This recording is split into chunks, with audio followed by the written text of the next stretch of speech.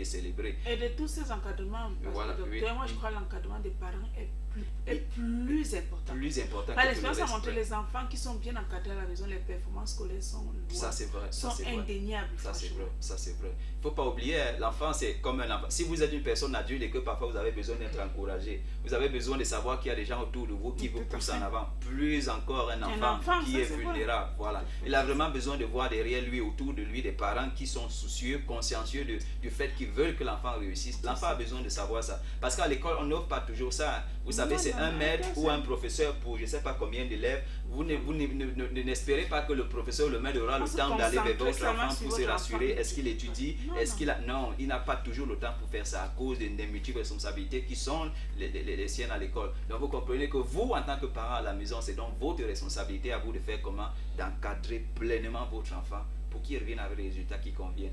Donc, comme je dis, l'école a commencé, les vacances sont terminées. Si vous étiez occupé 24 heures sur 24, créez, consacrez un peu de temps maintenant aux enfants que vous avez inscrits pour que, comme j'ai dit, hein, quand les résultats vont sortir, pensez à inviter euh, le plateau de réveil matinal pour qu'on vienne célébrer avec vous. C'est très important.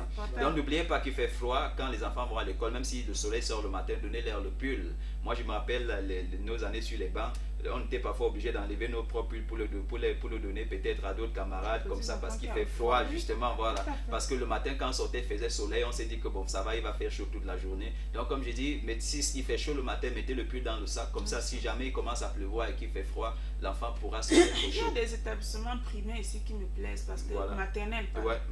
Non, là-bas, c'est le pull est automatique. Ok, voilà. Dans les enfants, là, c'est ça, c'est leur tenue. Voilà, en fait, voilà, voilà, voilà, tenue, voilà, voilà. Surtout les trucs anglophones. C'est comme ça. Oui, justement, toujours, justement. toujours les tenues Justement, avec les, pulls, gros là qui vrai. gardent les enfants C'est vrai, c'est vrai. Donc voilà autant de choses. hein. C'est comme ça, c'est gratuitement offert tous les matins sur Réveil Matinal. C'est le, j'ai envie de dire, c'est la meilleure émission à regarder. Continuez de regarder comme ça. Et puis demain, demain, je serai un peu absent. Je reviens jeudi. Je serai encore là et on aura sans doute quelque chose de nouveau sur lequel euh, élaborer ensemble.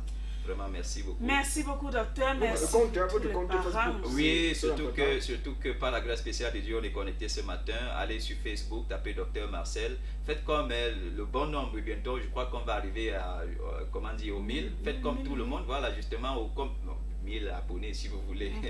ok, donc faites comme tous ceux-là qui, comme ça, ont choisi de nous retrouver, qu'on se retrouve ensemble sur Facebook pour discuter. Voilà, c'est très important. Je compte sur vous pour le faire. Docteur Marcel sur Facebook. Et puis, on avance ensemble. Que Dieu vous bénisse. À votre santé, bien sûr. Temps.